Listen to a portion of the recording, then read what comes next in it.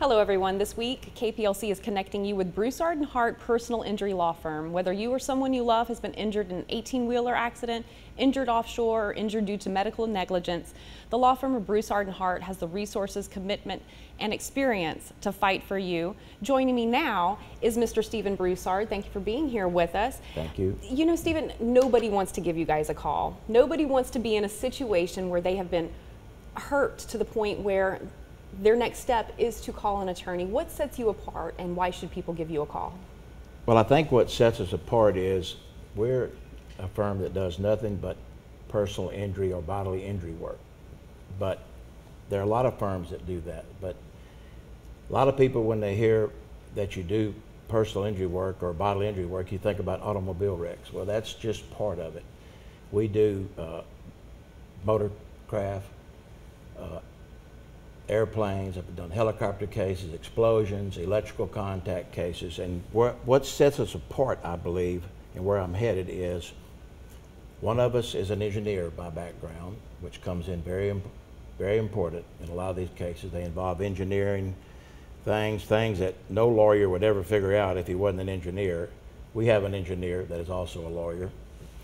Uh, I have 18 years in a judgeship that I retired from, which gave me or gives me a unique perspective because I have seen both sides many times and I understand from the bench how both sides work and uh, that job kept me very abreast of the law so I feel like I know the law very good from all angles.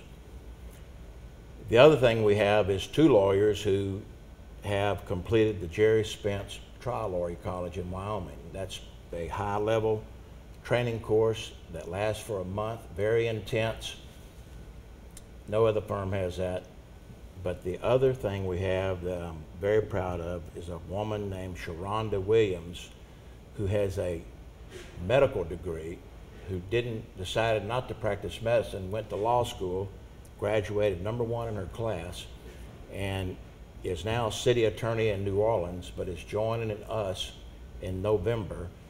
And her medical background and her extensive litigation experience is going to be something, when you add it to the rest of us, I think we're going to be very unique. Because you obviously have the experience on your staff to really be able to dedicate yourself and, and enhance your skills when you're in a courtroom situation. Right, and we're all uh, very passionate about what we do. Very, very passionate, very dedicated, and with a lot of experience to be able to help you. Broussard and Hart has a long history of handling and winning serious injury cases. Give them a call today.